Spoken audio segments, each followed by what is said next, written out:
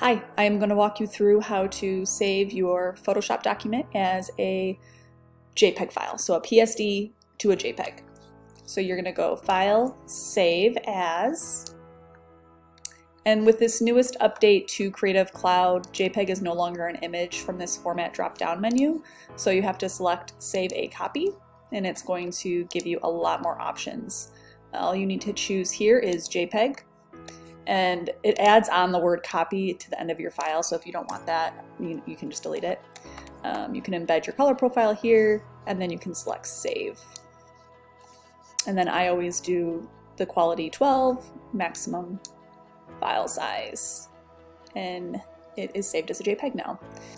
You do not want to go file, export, export as, because this is going to compress your file size and it will change your image dimensions. So do not do that.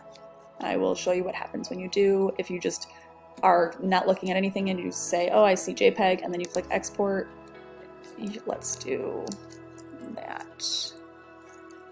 Export so that we know. Um, and then we're going to open that file. So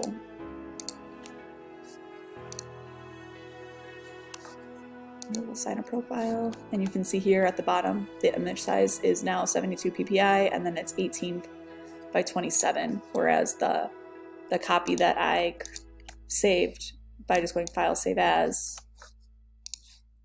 is at the correct dimensions. Let us know if you have any questions. Thank you.